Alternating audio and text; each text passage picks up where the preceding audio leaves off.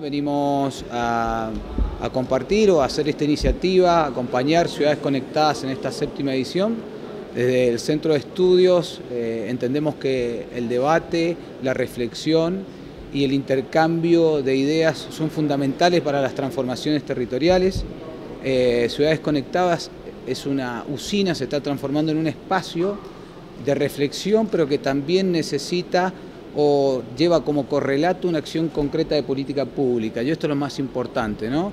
Estas políticas públicas que después se transforman, o aquellas que logren transformarse en política de Estado, son las que verdaderamente van a transformar eh, las realidades de nuestros territorios. Eh, creo que estamos en ciudades conectadas aquí en el sur y esto es muy importante porque podemos hablar también de ciudades conectadas o ciudades eh, o territorios conectados, ¿no?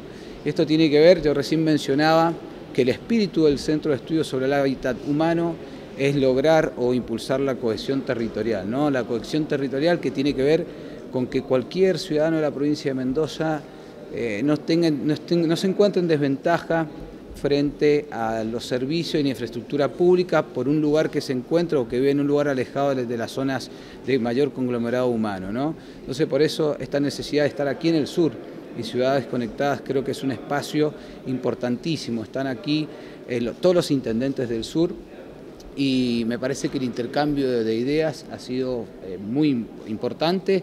Tenemos una ocurrencia de gente eh, muy buena, así que bueno, muy contento de estar aquí en Ciudades Conectadas y esperemos que sigan transformándose el territorio de la mano de la innovación y la producción del conocimiento es la única solución para los grandes desafíos que tenemos como provincia y como sociedad.